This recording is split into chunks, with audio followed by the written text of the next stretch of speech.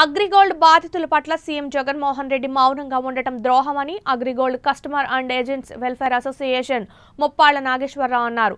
ఆర్థికంగా మానసికంగా కరోనా నుంచి బాధితులను కాపాడాలని అగ్రిగోల్డ్ బాధితులకు ఇచ్చిన హామీలను వెంటనే ముఖ్యమంత్రి జగన్మోహన్ రెడ్డి నెరవేర్చాలంటూ డిమాండ్ చేశారు. అగ్రిగోల్డ్ బాధితుల విషయాన్ని ప్రభుత్వం దృష్టికి తీసుకెళ్ళేందుకు నెల్లూరులోని సిపిఐ జిల్లా కార్యాలయం విలేకరుల సమావేశం నిర్వహించడం జరిగింది. ఈ సందర్భంగా ముప్పాళ్ళ నాగేశ్వరరావు మాట్లాడుతూ ముఖ్యమంత్రి జగన్మోహన్ రెడ్డి తాము అధికారంలోకి వచ్చిన వారంలోనే ప్రతి ఒక్క అగ్రిగోల్డ్ బాధితులకు పూర్తి స్థాయిలో న్యాయం చేస్తామని హామీ ఇచ్చిన ముఖ్యమంత్రి జగన్మోహన్ రెడ్డి నేడు అధికారంలోకి వచ్చి రెండు సంవత్సరాలైనప్పటికీ హామీ అమలుపై మౌనం వహించడం ద్రోహంతో సమానమేనని AgriGold customer and agents welfare association రాష్ట్ర గౌరవ అధ్యక్షులు సిపిఐ రాష్ట్ర సహాయ కార్యదర్శి ముప్పాళ్ళ నాగేశ్వరరావు అన్నారు. ఇప్పటికైనా ప్రభుత్వం స్పందించి ఈ నెల ఇరవై ఎనిమిదవ తేదీలోగా డిపాజిట్ దారులు అందరికీ ఏ తేదీలలో ఎంత మొత్తాలు డబ్బులు చెల్లిస్తారో? స్పష్టమైన ప్రకటన చేయాలని డిమాండ్ చేశారు.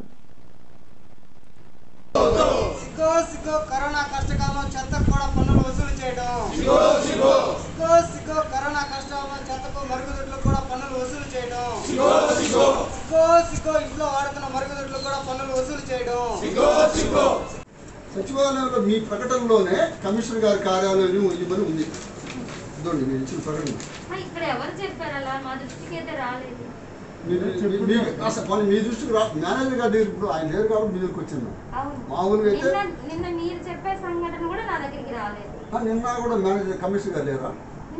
ఆయన దగ్గరికి పోతేనే అక్కడికి వెళ్తేనే సార్ దగ్గరికి వెళ్తే అలా జరగదు ఎప్పుడు. ఆ. అసలు సంబంధం లేని కూడా మా దగ్గరకు వస్తుంటాయి.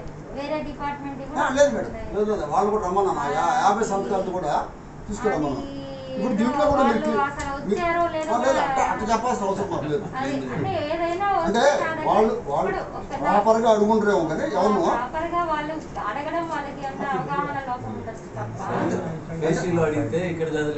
వెంటనే వెంటనే మీ మీ- మీ మీ ప్రాంతాల్లో ఉండే సచివాలయంలో మీ అప్లికేషన్ ఉంటే ఆడ మళ్ళీ ఆడలేదు ఆడపోతే ఇది మేము తీసుకోవడానికి లేదని చెప్పాను అదే వాళ్ళు ఎవరికైనా అర్థం కాకపోతే నా దగ్గరికే వస్తారు.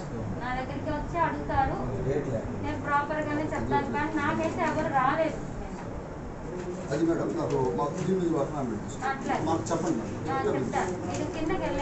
మా ఇప్పుడు మళ్ళా కూడా మీ మీ- మా రిక్వెస్ట్ ఏంటంటే మా అసోసియేషన్ నైన్టీన్ ఎయిటీ సిక్స్లో పెట్టి అప్పటి నుంచి పనిచేస్తుంది. బహుశా మీరు అప్పుడు సర్వీస్లో ఉండాలో తెలియదు ఎయిటీ సిక్స్లో జనరల్ డివిజన్ జరిగింది. జరిగినప్పుడు మేము దాదాపు దాదాపు డేట్ స్టాంప్ చాలు. సంతకం ఉండక్కర్లేదు మేము ఎవరికి రిసీవ్డ్ ఆ, ఇవ్వమన్నా ఇప్పుడు పర్లేదు. మీ రసీదు మీరు